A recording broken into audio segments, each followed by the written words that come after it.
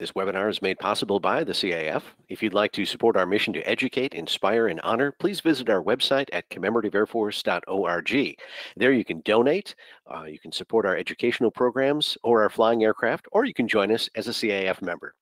I'm your host, Steve Buss, and we're glad that you could join us tonight. Remember, if you have any questions during our presentation, just type them in the chat box and we'll save time at the end of the presentation uh, to have those questions answered. Now, joining me tonight are Susan Janzen Nickerson and Sherye Simmons Green, who will talk about the book Surviving Hitler Evading Stalin. It's a memoir of Susan's mother, Mildred Schindler Janzen. And ladies, uh, good evening and, and welcome to the show. Thank you.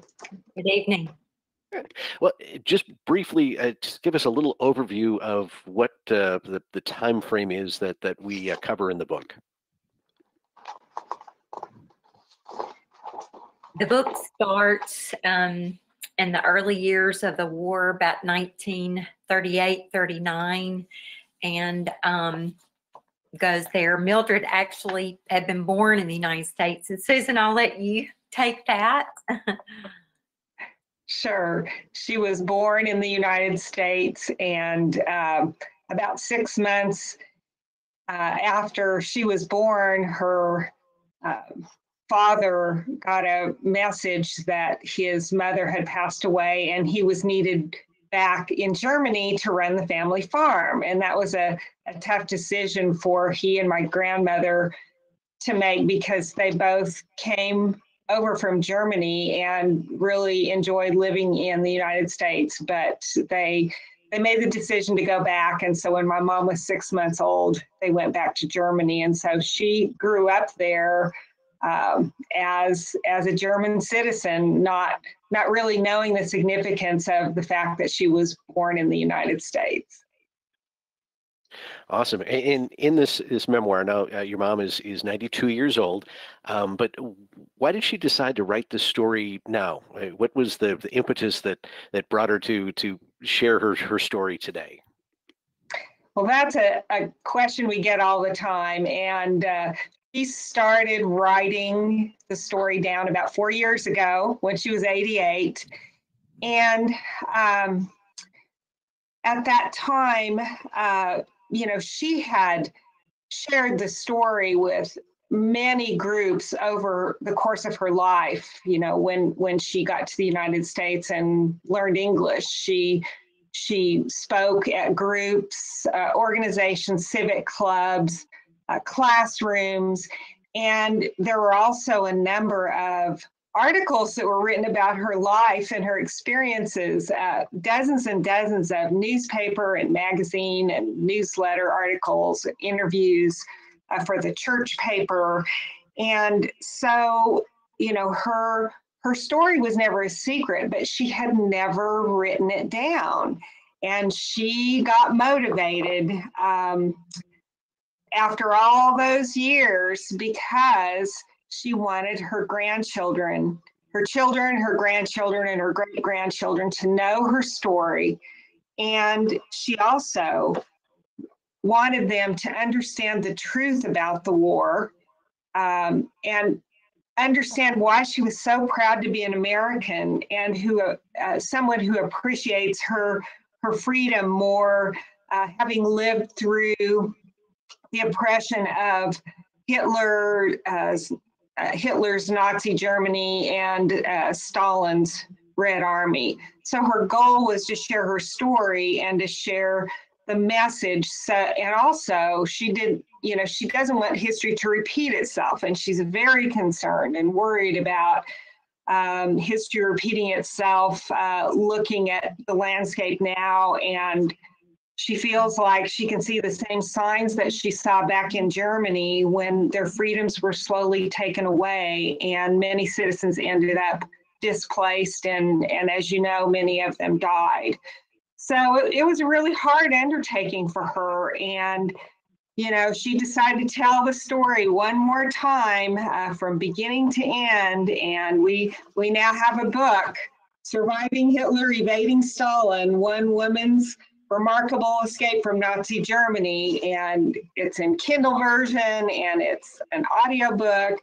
But um, she was she was very brave and courageous to do the hard work it took to retell the story again. And recalling all those experiences gave her nightmares. But she was determined to see it through. And in the end, there, there was, I think, 11 hours of interview uh, video and hundreds of questions answered and four manuscript reviews, which we had no idea that was going to be part of our responsibility, but we wanted to make sure everything was correct. And so uh, it was a it was a large undertaking, but uh, she's happy she did it, and she's very glad that that her story is now um, in you know in a, a wonderful format that that Sherye so graciously helped us uh, with and and wove the history in. And and we feel like you know we've got a we've had a lot of good feedback and we're uh, mom mom is very happy with the product. So so that's why she decided to uh, uh, to write it after all these years. Share it with the grandchildren and share it with the world. And so history does not repeat itself. Well, and that that writing the story is one thing, but then also uh, bringing in someone like Sherye to help craft the story uh, and and make sure that it's uh, it's ready to be presented to the to the uh, to the world. And and uh, Sherye, uh, welcome again. And and how did you get involved in this project? You in Mississippi and Mildred in Kansas. Well, the story actually starts year before years before I ever met Susan and her mother but I was teaching in the year 2006 at um, Jackson Preparatory School, the, the high school where I had actually gone to school, and our two children were there, but was a history teacher, and decided to go back um, to graduate school and get a master's in history. Actually, was a marketing um, major in under undergrad at Mississippi State, and so education was a second career and um, was in grad school from 2006 to 2010. And when I graduated, my mother um, kindly invited me to go with her on a trip to Europe. We did a Trafalgar tour, Sound of Music tour, and went to southern Germany and to Austria.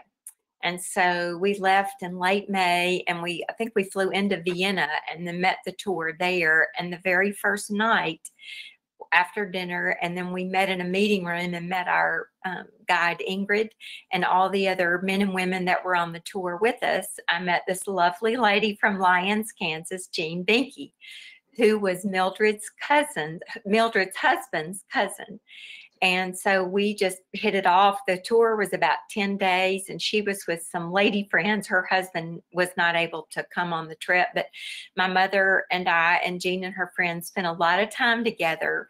Um, she was a retired history teacher. I was still in the classroom. We both loved to read. Um, we both were followers of Christ and shared that. We just had a lot in common. And so when the tour ended, we exchanged um, contact information with each other. And in the 10 years after that, we have just kept in touch with each other all these years. And in mm-hmm. January of 2019, I called her because I was writing a magazine article about our tour guide, Ingrid, um, who, when we got to Dachau concentration camp, there on the outskirts of Munich, that was the very last stop on the tour. And I just happened to be standing by Ingrid as she got off the bus. And I can, she was a beautiful older lady with beautiful blonde hair, brilliant blue eyes, and just kind of running her hand through her hair like she was very upset. And she said, I'm going in there today. And I remember thinking, don't you go in there all the time? This is the last stop on this tour, and you're the guide. But she said that her father had been um, they think kidnapped by the Nazis. She was Austrian. And her father had been a, an attorney and not a Nazi sympathizer, but her family, he, um, her father got up and left for work one morning and never came back again. Ingrid was about six, but she just said this is where she always felt like her father had been incarcerated. And she said, I'm going in there today.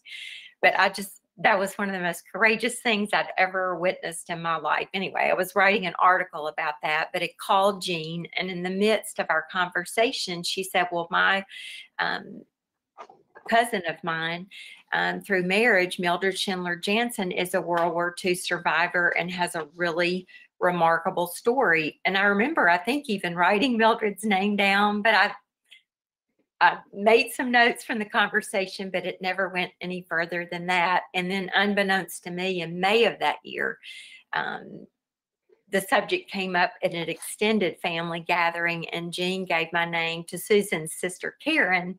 And then it wasn't until August of that year that they contacted me, and kind of the rest, as they say, is history. It's a, it's a, sometimes a very small world, isn't it? When you when you think of the connections that that just sort of happen randomly, but maybe they do happen for a reason. Now, uh, Sherye, you've written a, a number of, uh, like you said, the articles, uh, books, and things. But this was the first time you you did a memoir. How did you, as an author, eh, decide to to put together a plan to to uh, to write the memoir?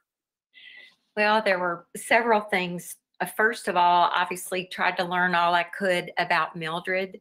Um, soon after Susan contacted me two years ago, she was kind enough to send me a huge packet of co- photocopies of a lot of these newspaper articles that had been written about her mother. And those really provided me just sort of my first introduction to her. Um, also sent I think, Susan, I think it was like 64 questions that I sent to Mildred um, between the time that Susan and I started talking and my trip in October of that year. That Susan was so sweet to scribe um, and then send those answers back.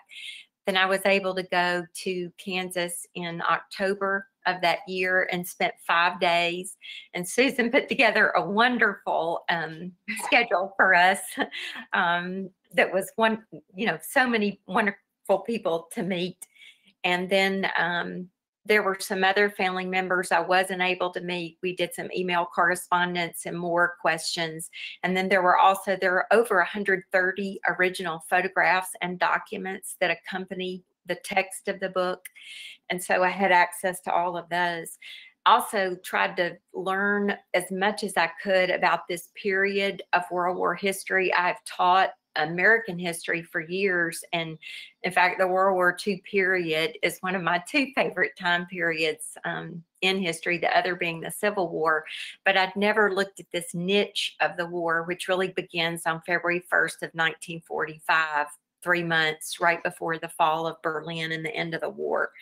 And so, um, what I would do is take the historical events that Mildred mentioned that had meant something to her or to her family, and then tried to flesh out more details about those. Um, read a lot of World War II related books very quickly, watched a lot of documentaries. I also sought advice from a lot of several writers, in fact, who had written memoir. Um, author Ken Gire, who very graciously wrote the foreword to the book, has been a friend for several years. And a book he had written in 2015, All the Gallant Men, was one I came upon that fall that was written about Mr. Donald Stratton, who was one of the last five survivors of the sinking of the USS Arizona at Pearl Harbor. Um, but Ken's advice was invaluable. I also studied that book to sort of see how it was constructed and how the different parts were put together. And then Joe Lee, that's an owner and editor of a of Dogwood Press here in Mississippi, was another wonderful source of information. Also, we wrote a book proposal for Susan and her family. Again, I had never done this before. I don't know if it was right or wrong, but it worked but uh, did the research and then wrote the book proposal and then sat down to write the book. But in writing the book proposal, um, probably in November and early December of 2019, I had to produce a table of contents and chapter summaries and also write three chapters. So I wrote the preface, chapter one and chapter six, but then that table of contents kind of became my um, trail of breadcrumbs, so to speak, to follow. Um, Mildred's original first person account of the book was right at 4,100 words. The completed manuscript was about 81,000 words. Um, and I spent 732 hours and 43 minutes uh, researching and writing the book. So um, a lot of work, but it was a lot of fun, a lot of fun. I can tell uh, by the enthusiasm that, that you have. Susan, what was it like when you received uh, Sherye's proposal? I mean, that was you. You knew the story. You had read what your mother had written, but now this is coming back from a, a third party. What was, what was your reaction? Your mother's reaction? Well, it was very exciting to see words on paper and Sherye's ability to to speak with my mom's voice was incredible. And the way the way she was able to not only talk for my mother in words, but but weave the history in that my mother may not have known or that that was pertinent at the time that would that would provide context for what my mom was going through at the time was really was really stunning. We were very excited to have the proposal so that we could get started uh, sending them or sending information to publishers and to see you know if if there would be interest in publishing the book and we had very early success and we were very surprised and very excited by Sunbury's uh, offer of the contract to publish the book. That's awesome. Um, uh, Sherye, you'd mentioned the research that you did. Um, one of our uh, viewers actually sent in a question, said, asking, how did you, uh, how did you take care of the conflict between maybe what, what was in a, uh, Mildred's memory versus what actually happened, or even, uh, you know, historical uh, inaccuracies that that happen depending on what text you're you're using for for reference. How did you balance all of that? Well, um, there were a couple of things from those newspaper articles that she had remembered. Um, maybe a name. I, I know that, for instance, the ship that brings her to the United States from Germany is the SS Marine Marlin. But I think in one of the early articles where she recalls that um, she called it the marine flasher. So some of those details had been mixed up, but just kind of typing in words in the internet and just till I, you know, found what I could. Um, also tried to make sure I used reputable sources. Um, having been a school teacher and having had helped young people write papers or do projects um, had a little bit of feel, I think, for what was con- considered, say, um, a reputable source online, um, that kind of thing, but also found very quickly a great um, collection of books that provided for me um, a lot of that background information. What what helped you write in in Mildred's voice? Um, well, I think mainly having to, you know, have having met her and spent that time. I also, the family had shared with me several video recorded um, interviews with her, one from the late 1990s um, that I could go back and replay. I also had access. We had 11 hours of recorded interviews from those days I was with her in Kansas.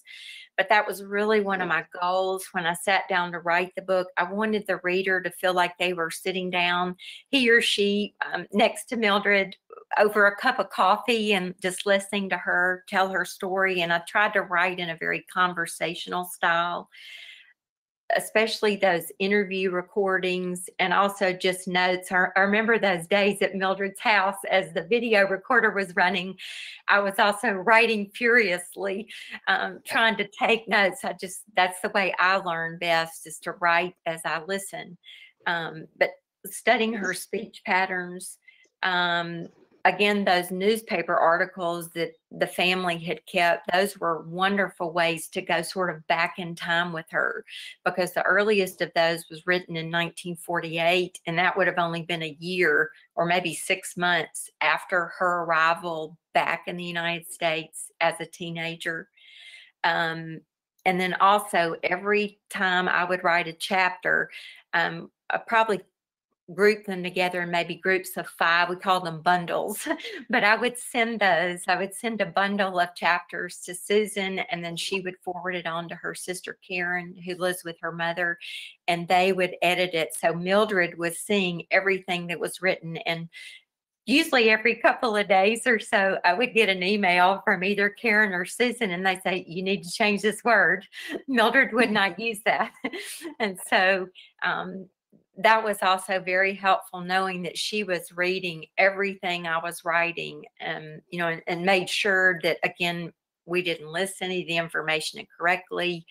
Um, but especially wanted it to sound like it was her voice.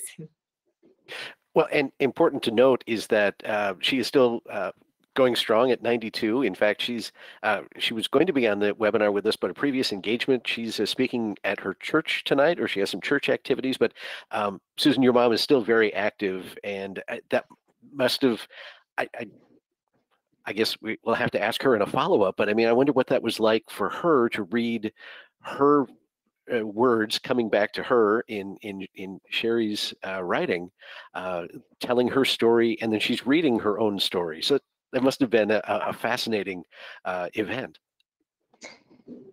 I, believe she enjoyed it. I wasn't there all the time when she was reading it, but uh, she she would pick up on things that weren't quite right, and we would we would get that corrected and she would say, "Yeah, that that's how it was," you know. And so I I think she was she was very um, honored that it was being written so much better than you know her first rough draft and um, you know it, it, sounded like her voice you know it was it was her story um, but better than she could write it so i i feel like she was she was very excited to participate in the process and very thankful to Sherye for all the hard work that she had done to pull everything together.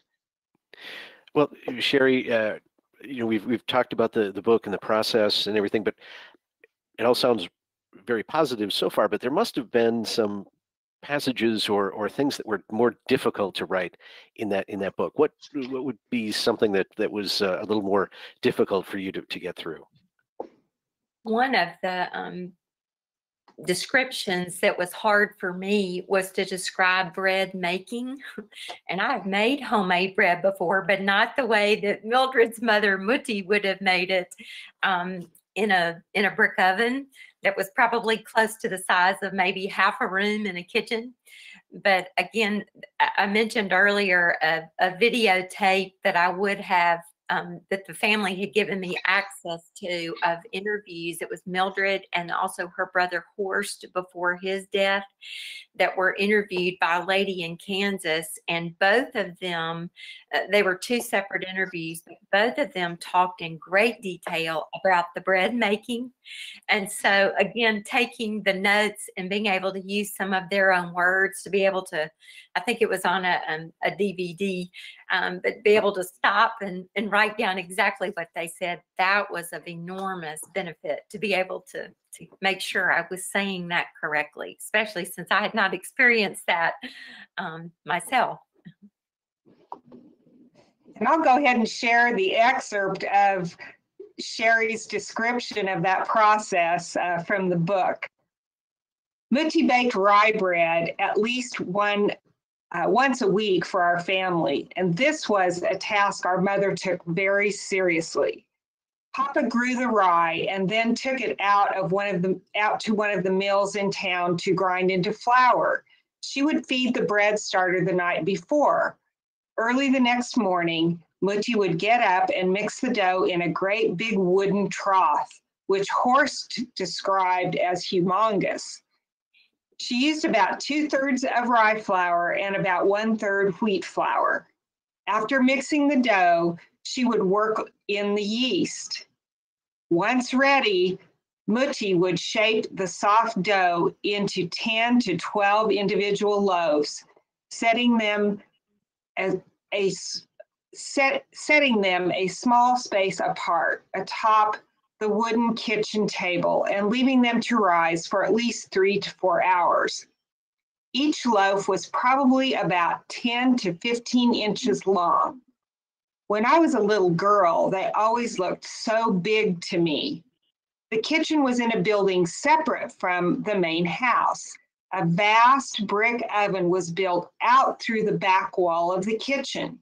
An iron door about three feet square allowed access from the interior of the kitchen while sealing off the heat within. Mutti mainly used pine branches to fuel the oven. As the dough rose the morning of bread baking day, the fire in the oven would be stoked and left to get hot. Mutti used a long handled wooden paddle to place bread in and remove it from the oven. This tool was about five feet long from handle to the broad end, allowing her to put food in the oven without getting burned. Mutti thought the oven temperature was right. When Mutti thought the oven temperature was right, she would get a piece of wheat straw and place it in a crack in the wooden paddle surface.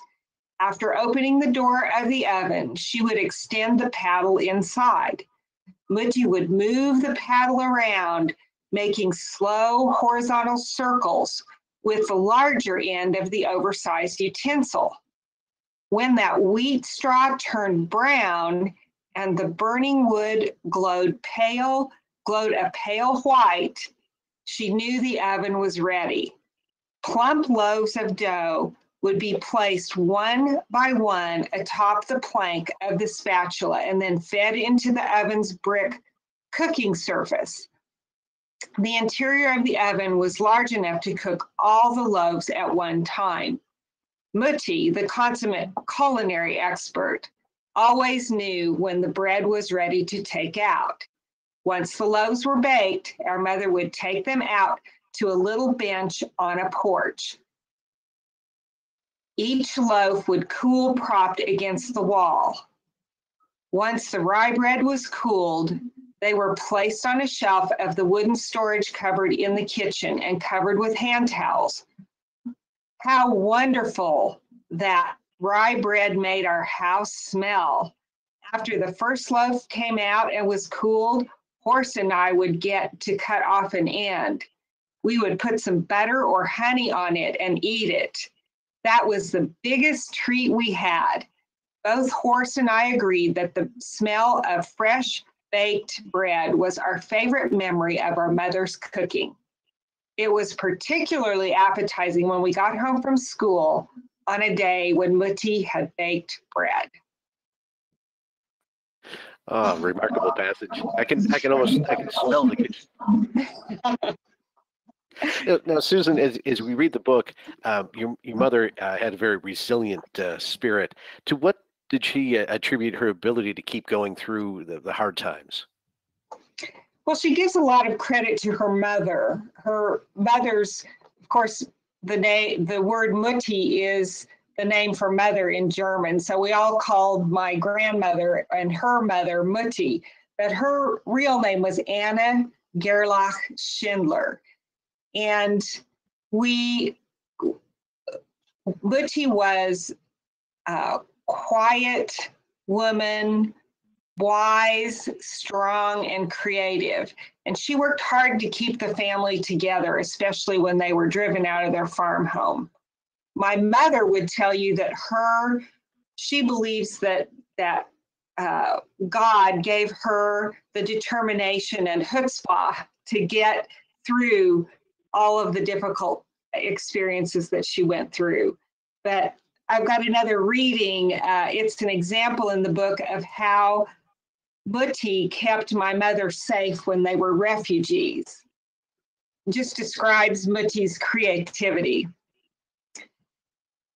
and this was when they were refugees. Uh, Russian soldiers thinned out our group every few days and either took men, like they had taken Papa and Kurt, to work in, a la- in labor camps or on building projects, or took women to work in laundry camps.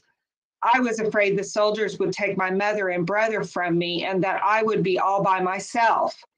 Young men close to Horst age were also occasionally dragged out of our column and given a gun. They then marched off to accompany the Russian soldiers on some task, possibly even forced to fight against the German army.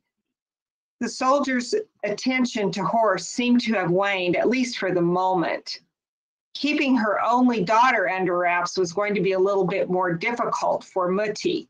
Each morning, she would begin her menstruations of disguise, a makeup job that would have made any theatrical company green with envy.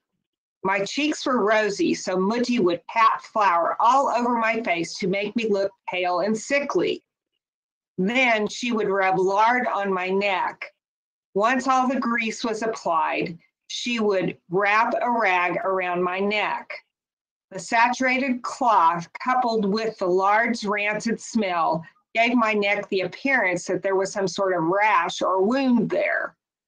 By the time Mutti finished fastening the length of fabric around my neck, I could not even turn my head.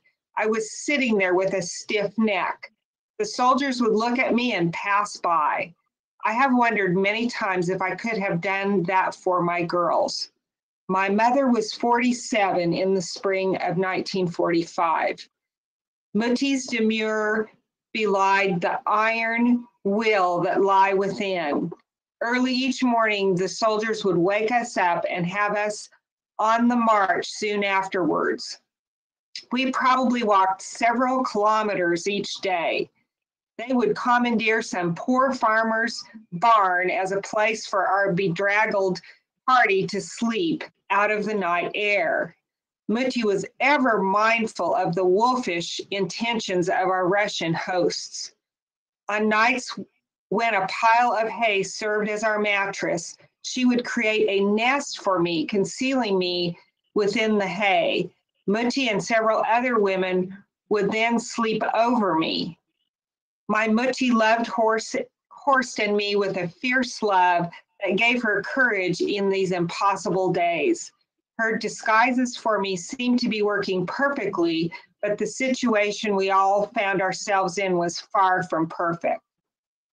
One morning, the Russians came looking for laundry workers earlier than expected. Unfortunately, Mutti had not yet had a chance to camouflage me.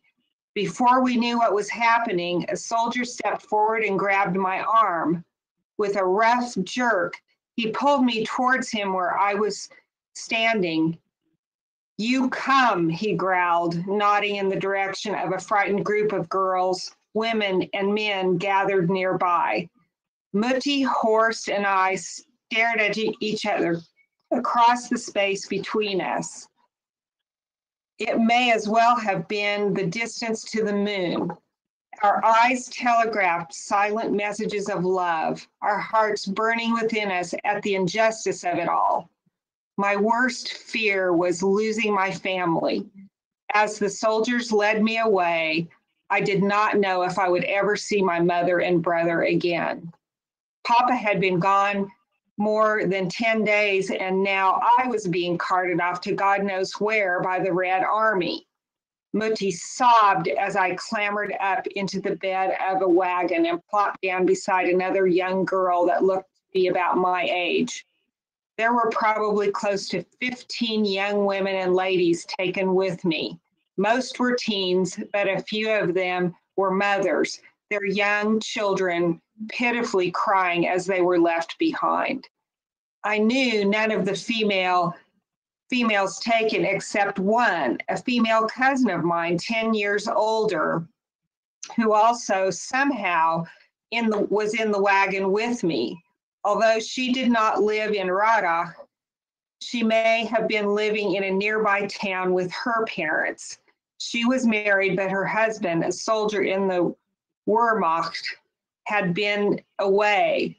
The Russians also took about 10 men, probably required to turn the cranks on the laundry machines. The soldiers explained that we would be taken 20 kilometers away, which is about 12 miles, and would only be there for three days.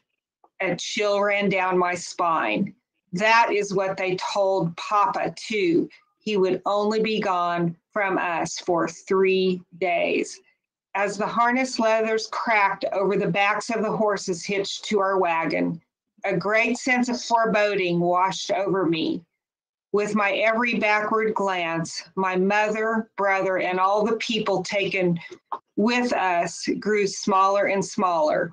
In front of me lie an uncertain future.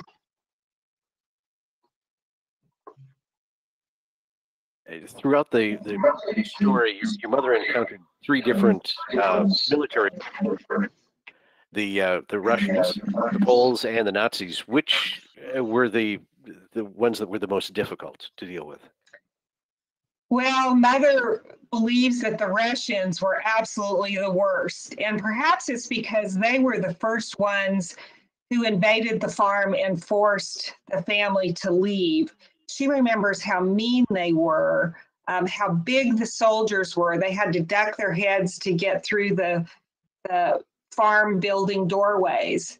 And she even remembers the smallpox scars on the faces of the young soldiers.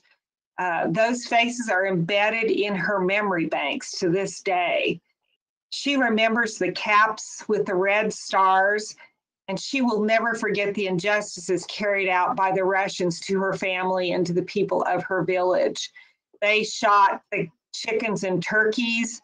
They spilled molasses that my grandmother had painstakingly made all over the steps and tore a down mattress and threw the feathers on the molasses, made a huge mess, and just ruined a lot of things that that were valuable on the farm. She also remembers the the soldiers being drunk. So, you know, she encountered the not the German Nazis, the the Pol, Pols, Polish soldiers and the Russians, but she says the Russians were the worst turning to uh, a little uh, more positive uh, experiences for your mother, but uh, what did she kind of feel was a, a defining moment uh, in in her in her life, in her character development? Well, I don't know if this is a, a defining moment, but um, you know, she she had such a resilient spirit, and she was the firstborn. She could be defiant but uh, I have a, another short reading and it, that that shows an example of her grit and determination uh, after she had been taken to the to the labor camp. Each morning we would line up in a long line. A female soldier would walk down the line in front of us and say, "You and you and you wash." Those of us who she had pointed to would have to go to the laundry line. On the fourth day of wash duty, a Russian female officer barked orders in front of us. She wore a winter cap with ear flaps to be tied up over the top of the head. I can still see the red star of the Russian army emblazoned on the front of her hat. Now, when I see one of those caps, I want to throw it away. I never allowed my boys to have one because all I see is Russians in my mind. I do not have anything good to say about the Russians. We did not like the Nazis, but we really did not like the Russians. When she pointed to me, I stepped out of the line, held out my hands, and said to her in German, Look at my hands rubbing against the edge of the hard washboards wore off almost all the skin on my hands. They were red and bloody. I shook my head from side to side, making my no emphatic. I knew if I refused to obey an order, the female officer in charge would shoot me. But I did not care. I looked at her defiantly and thought to myself, I don't know if my mother or brother is still alive. My dad is gone. You don't even know my name. What's the difference? Go ahead and shoot me. Once again, God protected me. The female officer pushed me back in line and took the next girl. Her hands looked as bad as mine, but she did not say anything. I think that that story just exemplifies my mom's uh, spirit of um, grit and determination and defiance uh, in in that moment and she believes god did protect her in many moments like that throughout the whole story. It's just a sequence of miracles. Well, one of the, I guess you might be able to say it's it's a miracle, but she eventually immigrates back to the United States. But as you'd mentioned earlier, eh, when she uh, and her family went to Germany, she was only six months old. So she's now grown up in Germany, speaks German, but now is back in the United States. How did she make the adjustment to to be back in the U.S. and to to start a new life? Well, she was lucky enough to have relatives live over here who had been in Germany and spoke German. So she came over and lived with her aunt, uh, her father's sister, and uh, the man that her her father had worked for on a farm in America before he he returned to to Germany. But she really wanted to learn English uh, but it was it was difficult. Uh, she thought she was too old to go to school, so uh, she was able to get her aunt helped her get a job in a hospital in a diet kitchen where she could work without speaking in English. Um, one of the nurses there, as it turns out, spoke German and had attended a small high school in a German community not too far away where she thought mom could get extra help uh, needed uh, to acclimate to uh, new language in a new land and perhaps go to high school there. So that was all arranged, and mom moved in with a, a family in the small farming, German farming community and started attending high school at age 18. And it was very hard. In the beginning, she was so frustrated every day because it was, you know, all, all the words were foreign to her. She didn't understand English. She she came home from school and she was ready to quit. But with the help of the family she lived with, she persevered and was ready to get up the next morning and go try again. So again, that's just a, a testament to her her resilient spirit. We can see her in, in this picture in the uh, in a gym class, right? Yes. Now, now point out which one she is. She's the, the second one from the right on top.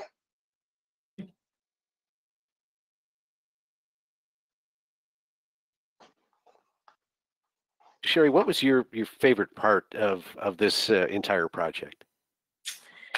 I'd have to say really that meeting Mildred was the was really, really the highlight. Um, she's just an incredible lady. And Susan said she is in fast, um, remarkable shape um, for her age. She can, she's like the Energizer Bunny. She can run circles around anybody that I know.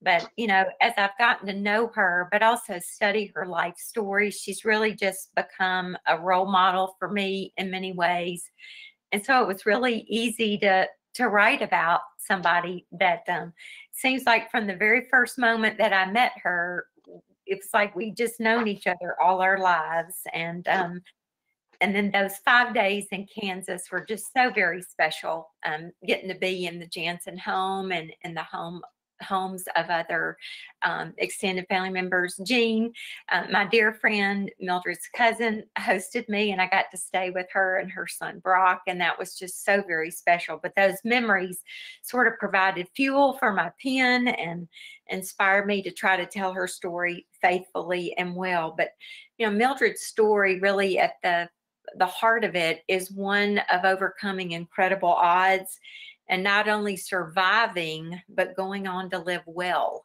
a life filled with love and laughter and with great joy. And who doesn't love a story like that? well, it's true. Susan, uh, what were some of your mom's experiences uh, post high school? Um, she had she had a very very uh, uh incredible life uh, as uh, she acclimated to being a U.S. citizen.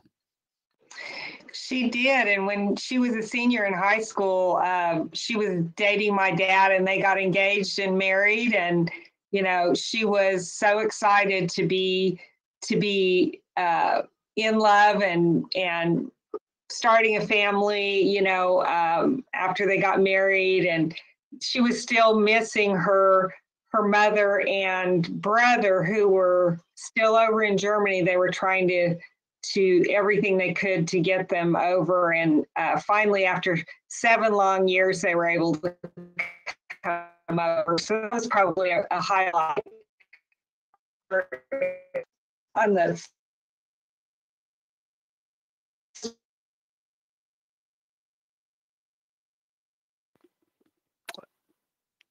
probably a, highlight for her. And front of the book is a picture down on the the bottom of of in seven years at the train. It was really that was to get them back in her life and to have them um, in the United States to be free with her. Now, uh, Sherye, uh, uh, with the book, uh, you also. And uh, I'm sure she would say the highlights. Okay, I think we're just having a little little audio problem there, there, Susan. It's okay. Um, I was just going to to say, uh, uh, Sherye, with the, with the book, you had the honor of, of writing it, but it's also received uh, several awards as well. It has. Um, Susan and I received word in early January of this year that the book was selected as a Sunny Award winner by our publisher, Sunbury Press, um, for 2020. Um, Sunbury at the time had eight imprints. I think they're up to 12, but we won this award for the Sunbury Press imprint. Um, this company receives over a thousand proposals each year and publishes 50 to 70 books annually. So we were, again, very honored to be in that company. Um, but winners, kind of their description is winners aren't always necessarily top in sales, but are the books that had the biggest impact for their reach. And um, we just, Lawrence Knorr, the publisher, and everybody on the team at Sunbury Press has been wonderful to work with. Also, Mildred was um, notified in early August that she is the recipient of this year's Medal of Honor, which is given by the National Society of the Daughters of the American Revolution. Um, and this is a very prestigious award um, given to native born American citizens.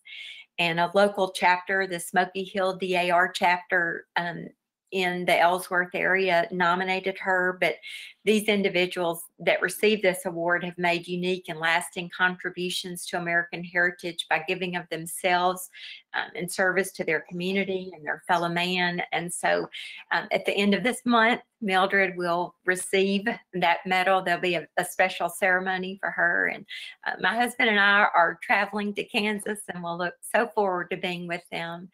And then about three weeks ago, I found out that um, I've been selected to receive the Mississippi Author of the Year Award for nonfiction by the Mississippi Library Association and um, for Mildred's story. And so again, very honored for that. And um, that will be, we'll do a virtual convention. Everybody is having to, you know, again, uh, make adjustments in this COVID season, but at the, at the MLA's um, annual convention, but we're just, we're very grateful um, that others have found it noteworthy. Well, congratulations. Thank you. Um, as uh, for the both of you, uh, have there been any surprises or uh, interesting stories of, of people who have read the book and, and reacted to it? There have been. Um, Susan and I and Mildred, all of her family have just been very pleasantly surprised, really overwhelmed by the very positive and the endearing responses that we've received. Um, from the very beginning of this project, when Susan and I started talking, I feel like this was a really good story. And there were a lot of people that I would talk to in publishing that would just say, I don't want you to get your hopes up. I'm sure this is a really nice lady and this is a great little story and you can do, you know, do your best job. But people don't know you and they don't know her and you're probably not going to find a publisher.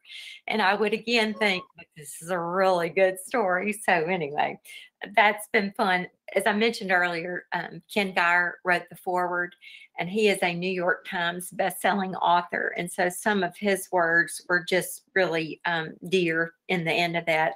And he he writes at 91 mildred schindler Janzen has given us a time capsule of that war and the years following it filled with pristinely preserved memories of a bygone era. That time capsule was entrusted to Sherye Green, who unpacked each memory with white gloved reverence. She examined each photograph, each letter, each bit of memorabilia, corroborating them with historical accounts and the testimonies of others. She has painstakingly pieced together those remnants of Mildred's life to form a compelling memoir. I commend both for the legacy they have left us, and I recommend it to you, the reader, to inspire the legacy you will one day leave to those you love. And then another one of the most meaningful notes, um, I had spoken to a book club here in Jackson, Mississippi, where I live earlier this summer. But one of those members had written another member and they had sent it on to me. Um, but this sweet lady just wrote, she said, I can't even tell you how grateful I am for your recommending Surviving Hitler Evading Stalin. I started reading it this afternoon and am not quite finished yet. Mildred Janzen's story through Sherye Green's work is a beautiful testimony. I've cried, praise God so many times today while reading. Thank you so much for telling me about this book. I'm already recommending it to others. Really, everyone should read it and I, I think, you know, again, when you sit down and um, try to mark the success um, of a book, you know, I'd be less than honest with you if I didn't tell you that that I don't care about sales figures or the number of Amazon reviews or how many likes that we receive on our Facebook pages.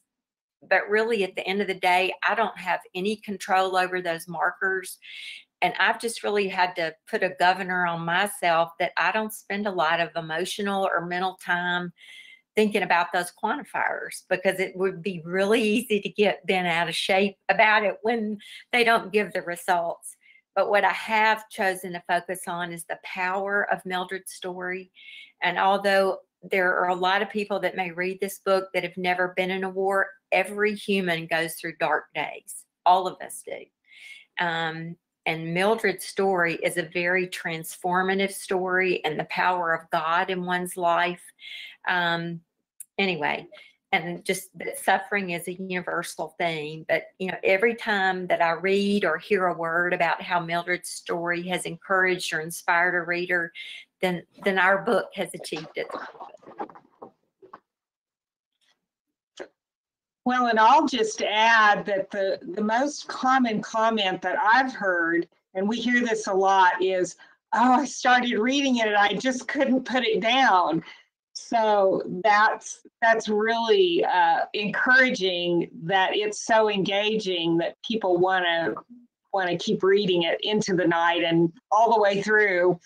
Um, we were at a book signing and a psychologist told us that he's prescribing mom's memoir to his clients because he feels like it will help them understand that they can persevere through difficult circumstances and come out with a great life and a positive attitude. So I thought that that was neat as well. Uh, and we have some uh, questions that have been uh, coming in from the audience. Uh, if you're you're watching tonight on any of the platforms, you have a, uh, a question, just go ahead and either type it into the chat box if you're on GoToWebinar or in the comment section on YouTube or Facebook, and we'll, we'll, we've got some time here to answer some questions. Um, we'll just take a look at, at a few here. Um, Sherye, as a teacher, what do you think students can take away from reading history like this? I think one of the things is that um, history really is a story about stories that happen to real live people. I think it's real easy to be a 13 or 14 year old in a classroom and think this was one of the most common comments I always got. Why do I need to know about dates and these people are dead and what what does why is this relevant to my life? Um, but these were real live people. Um, and also that I think there are a lot of myths of every historical period. That was one of the things I appreciated the most. One of the things that intrigued me about Mildred's story. I think it is very common to think that every German citizen that lived under the regime of Adolf Hitler fell into lockstep with his ideology, and they did not. They did not. I think a lot of them, like Mildred's family, lived in fear for their lives and just were good, honest, hardworking people and trying to get through their life in a horrible situation. But, um, and also to show that in spite of horrific circumstances that you can persevere and then also i think too in terms of history if you don't know where you have come from it's kind of hard to know where you're going um, is there uh, susan there any uh, stories that your mom uh, has of uh, aircraft uh, being in, in part of the story. Uh, obviously, as the commemorative Air Force, a lot of our audience is very up on, on aircraft. But were there any passengers or stories that that resonated with with aircraft in, in her experience? Yes, they heard the aircraft going over their their uh, little farm many times, and I, I'll read a short excerpt here about the planes flying overhead. By the fall of 1944, more and more Allied bombers were fly, flying over our farm. We could sometimes see them, although we were not worried about them. They were going to Berlin. To avoid being identified, planes flew over rural areas. Gesturing up to the sky, Papa would point out the bombers as they flew over. Here they're coming. Here come the Americans, he would say. I remember the planes made a dull, roaring sound. They were going woo, woo, woo, very much like the sound of a thrashing machine. It would not be until years later that I learned that other Allied planes flying over our farm sounded differently because they their payload had already been delivered. Marie, one of Papa's sisters who lived in Berlin and who was known affectionately as Tante Mariechen, would occasionally come for a visit.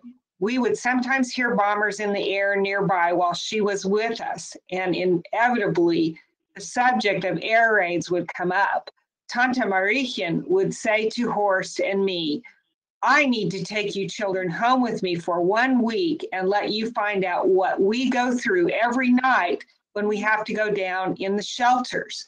She and every other Berliner were weary by this time after experiencing Allied bombing raids for over four years. By the time spring of 1945, the tide of war had turned against Germany. No one knew for sure, but rumors about a possible Russian invasion swirled all around us. Well, we know how that turned out. But yeah, that's that's her memory of seeing the the planes fly over uh, all the time, daily. They would fly.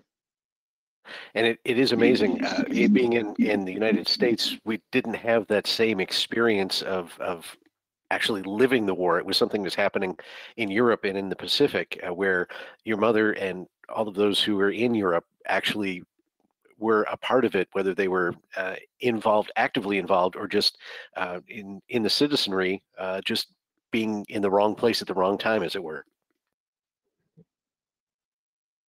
Um, what uh, what was the the uh, your mom's hometown in in Germany? The name of the town was Radach, R A D A C H, and uh, it is now Poland.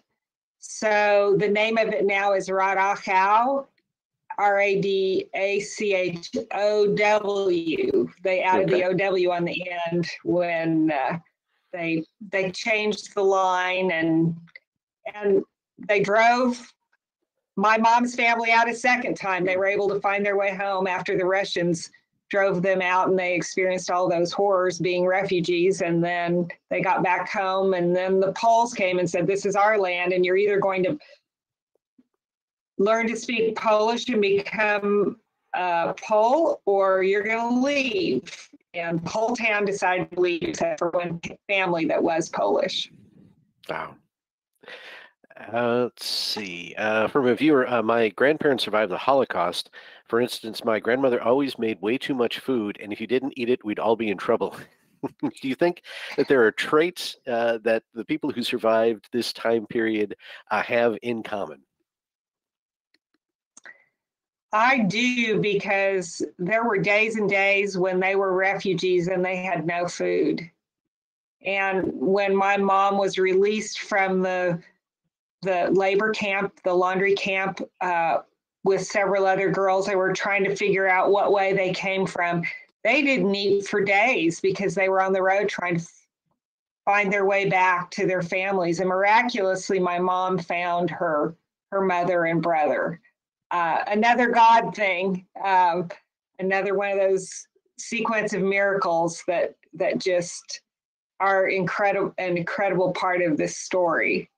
But yes, um, we have always had bountiful food. We we were trained to only take what we would eat, and if there was, you know, half a serving of something left in one of the serving bowls, we would save it because we do not waste food because there were so many days when they had no food.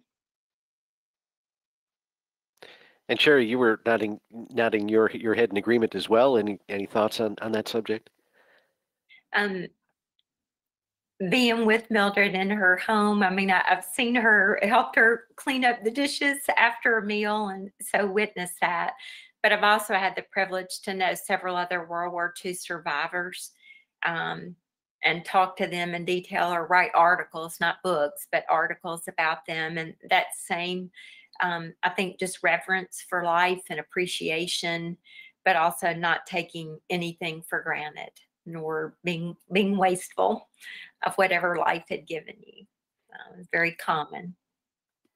Well, great. We are just about out of time, but I'd, I'd like to uh, give you both an opportunity if there's anything we've missed or any, any final thoughts you have before we sign off tonight.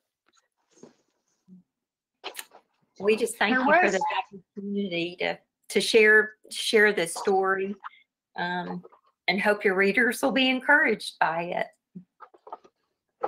Well, I'd like to share one little tidbit that uh, we learned from a World War II museum educator that this is the first and only known testimony of an abduction by Russian soldiers.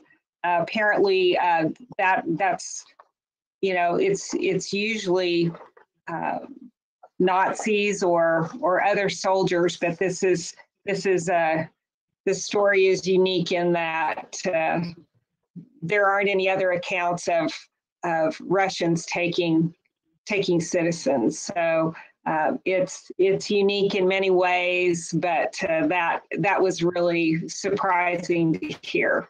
So, and and we want to thank your viewers and thank you for hosting the program and and featuring Mom's memoir. Great. And of course, the most important thing is if uh, someone would like a, a, copy of the book, how's the best way to go about uh, getting it? And uh, one of the questions was, is it possible to get a signed copy of the book? We have book plates um, that that we can send if we can get folks addresses. Uh, actually, there's a there's a Facebook page, and um, if you message me on on the book's Facebook page, uh, I I will be happy to send uh, a signed uh, book plate along. And you can buy the book at Sunbury Press. Uh, on the screen there, you can see sunburypress.com, amazon.com, any really any anywhere you can buy books. Uh, the audio books are available on Audible, which is uh, through Amazon, and um, so they're they're out there. They're available. A bookstore, any bookstore could order it. So it's, it's worth reading. There you go it is it is definitely worth reading and uh, i want to thank you both for uh, spending uh, some time with us uh, this evening. And uh, to those of you watching thank you for for sticking around for another warbird tube webinar. We'll be back next wednesday night. If you have any thoughts on interesting people you'd like us to talk to or, or subjects that you think we should cover please drop leah block an email at media at cafhq.org i'm your host steve buss. Thanks again for being with us and thank you to susan and uh, Sherye for uh, for being here. Go out and, and buy the book. Enjoy it. You will uh, you will enjoy reading a Mildred story. And again, for the Commemorative Air Force, I'm Steve Buss. Have a great night. Thank you.